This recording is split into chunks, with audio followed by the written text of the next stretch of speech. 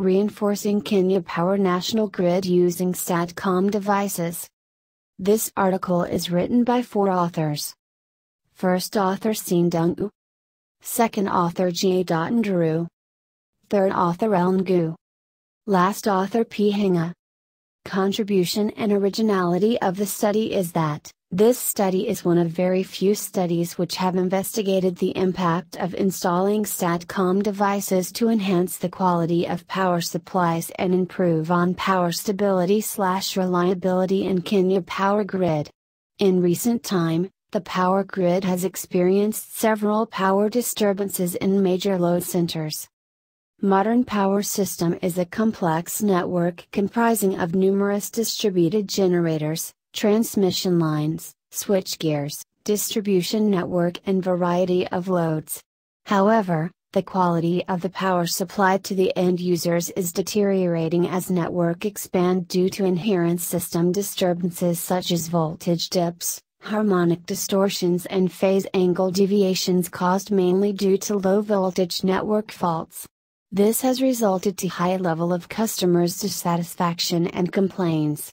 Research has shown that over 60% of system perturbations are caused by natural events such as lightning strikes and system faults.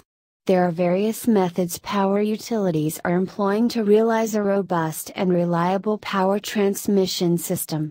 Such methods include reconducting of transmission lines, construction of new transmission lines and in recent time installation of flexible AC transmission system, FACTS, devices. The FACTS are power electronic devices that have ability of controlling the network voltage condition both in steady and transient state of complex power system.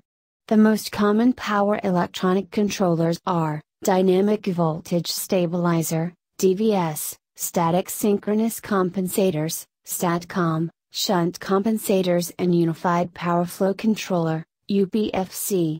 The STATCOM devices are the most widely installed power electronic controllers as they provide excellent performance in stabilizing the power system both in steady state and non-steady state, system disturbances, conditions.